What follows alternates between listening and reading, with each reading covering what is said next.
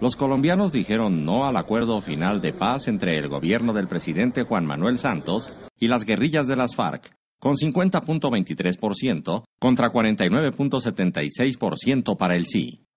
El no consiguió 6.419.759 votos, mientras que el sí logró 6.359.643 votos, superando el umbral establecido para legitimar estos resultados, que era en 4.536.000 votos.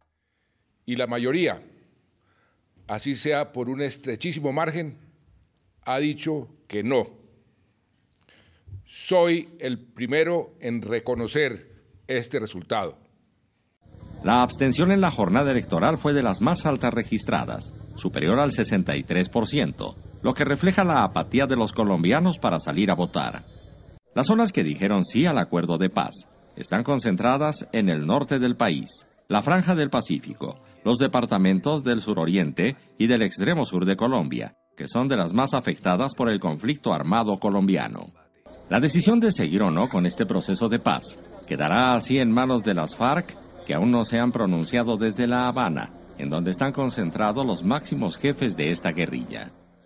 El gran ganador de este plebiscito fue el expresidente Álvaro Uribe Vélez, que lideró la campaña por el no e hizo campaña con la afirmación de que los acuerdos eran benévolos con las guerrillas de las FARC.